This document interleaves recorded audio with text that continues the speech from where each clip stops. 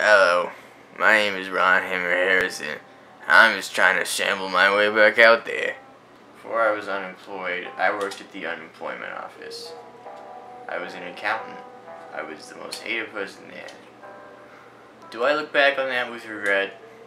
Hell no. I was looking for like, like, an X chromosome.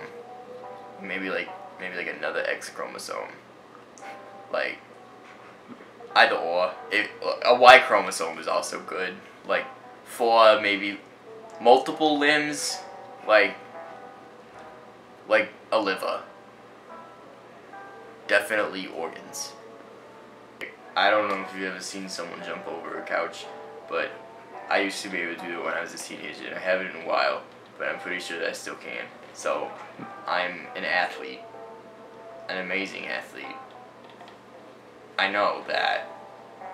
Number two would probably be that I'm an amazing chef. You you can have your green beans in a can, but can you have your green beans with some microwave bacon, also from a can? Yeah. And I'm the guy to bring it to you. Number three, I'm relatable. You know, I've gone through all the struggles that every American has.